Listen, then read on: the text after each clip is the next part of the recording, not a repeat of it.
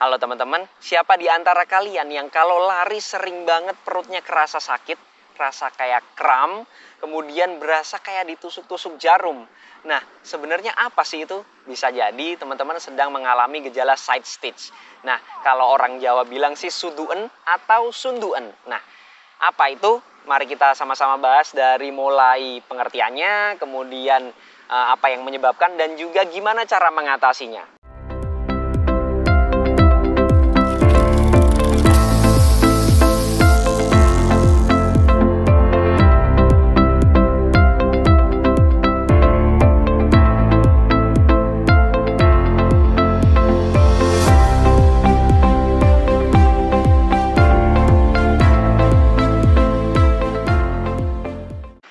Saya mohon maaf kalau misalnya suaranya agak berisik gitu ya karena saya lagi ngambil videonya di uh, laut, kemudian uh, anginnya agak kenceng, jadi mohon maaf kalau agak berisik. Semoga suara saya kedengeran dengan jelas.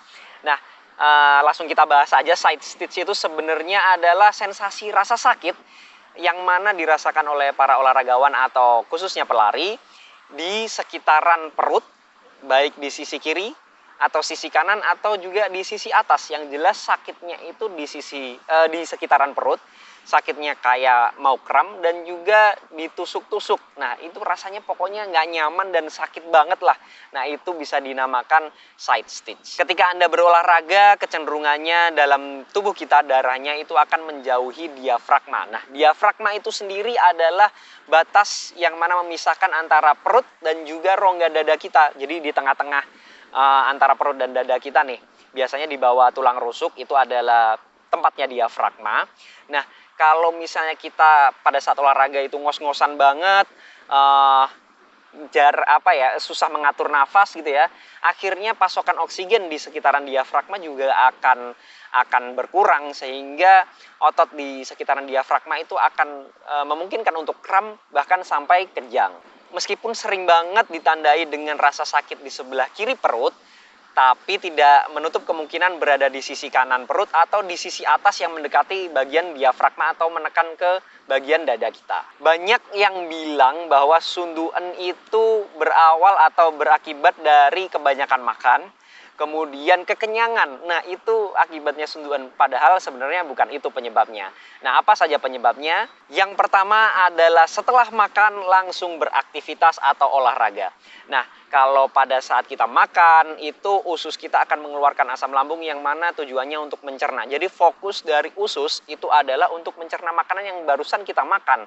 Kalau misalnya kita langsung olahraga itu kerja usus jadi akan double banget. Nah, dengan dua kali kerja usus tersebut, maka usus kita akan mengeluarkan gas-gas atau asam lambungnya akan eh, keluar lebih banyak. Kemudian gas-gas tersebut akan menekan di bagian diafragmanya, diafragma badan kita, sehingga rasanya itu eh, perutnya terasa sakit ya karena itu proses menekannya asam lambung atau gas yang dihasilkan oleh usus untuk eh, mencerna makanan yang sudah kita makan sebelumnya. Gas-gas yang menekan diafragma tadi yang menyebabkan rasa sakit sampai rasa tertusuk-tusuk itu yang salah satu yang menjadi penyebab dari sunduan. Penyebab yang kedua adalah kurangnya pemanasan. Jadi banyak banget para runners yang mengeluhkan terjadinya sunduan itu karena mereka kurang pemanasan. Jadi selain kita habis makan langsung beraktivitas, jadi otot di sekitaran perut kita itu juga perlu dilatih. Harus e, di pemanasan dulu pada saat sebelum kegiatan sehingga ototnya itu lemas atau lentur gitu ya, nggak kaget gitu. Kalau misalnya kita langsung intensitas tinggi, itu akan meningkatkan resiko kita terkena sunduan. Jadi ototnya itu langsung kram, langsung kayak berasa kejang sehingga kalau mau terhindar ya harus pemanasan terlebih dahulu. Yang ketiga adalah minum manis sebelum beraktivitas atau berolahraga.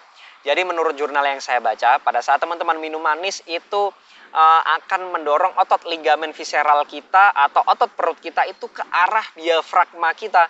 Jadi rasanya itu nggak bakal nyaman banget di bagian perut bakal kerasa kayak kram sehingga itu bisa menjadi salah satu penyebab teman-teman kena sunduan. Sebenarnya ini uh, agak agak apa ya agak membingungkan karena kalau misalnya kita intensitas yang akan berat gitu ya uh, kalau misalnya akan uh, long run, mending lebih banyak minum yang manis-manis untuk kebutuhan tenaga kita. Nah, sebenarnya kalau teman-teman sudah terbiasa sih nggak nggak ada masalah ya. Tapi kalau teman-teman yang baru mulai olahraga lebih baik dihindari karena itu dapat menyebabkan side stick. Yang keempat adalah struktur tulang yang berbentuk skoliosis. Mungkin teman-teman harus uh, ngecek ya kalau masalah yang keempat ini jadi struktur tulang skoliosis atau yang e, berbentuk huruf S itu menurut studi bisa mempengaruhi penyebab sunduan karena saraf-sarafnya juga bisa mempengaruhi di bagian perut atau diafragmanya itu sendiri.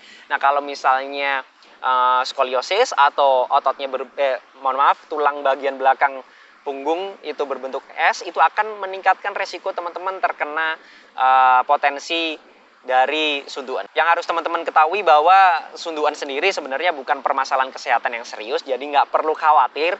Tapi kalau untuk kenyamanan pada saat kita berolahraga, kita harus uh, antisipasi dan waspada nih. Nah, gimana cara menghindari sunduan atau side stitch ini? Yang pertama adalah atur pola makan, jangan terlalu dekat dengan aktivitas berat atau olahraga. Jadi kalau saya pribadi menghindari makan berat itu tiga jam sebelum aktivitas yang uh, intensitas tinggi gitu ya, atau lari lebih baik tiga jam sebelumnya udah selesai makan berat. Kalau mungkin nyemil-nyemil sedikit gitu nggak masalah, cuman jangan terlalu banyak. Kalau nyemilnya banyak ya percuma aja, kerja usus bakal berat juga. Yang kedua, teman-teman harus pemanasan terlebih dahulu. Kalau perlu, teman-teman harus sering-sering melatih otot perut seperti sit up dan teman-temannya itu.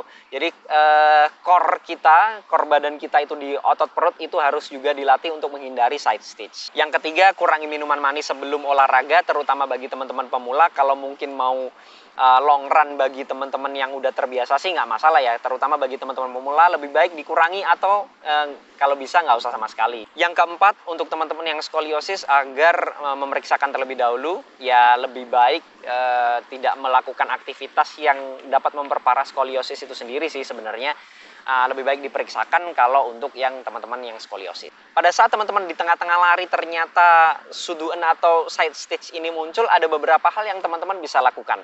Yang pertama adalah duduk, atau mungkin kalau nggak mau buang waktu larinya itu bisa bungkuk gitu ya.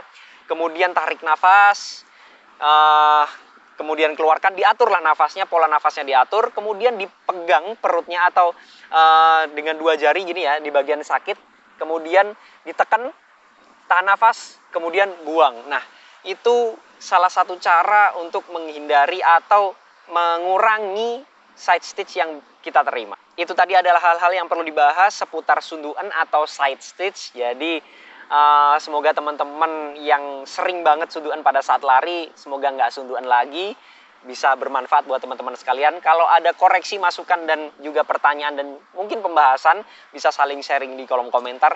Jangan lupa subscribe channel ini biar saya selalu semangat untuk membuat video-video yang bermanfaat buat teman-teman sekalian. Assalamualaikum warahmatullahi wabarakatuh.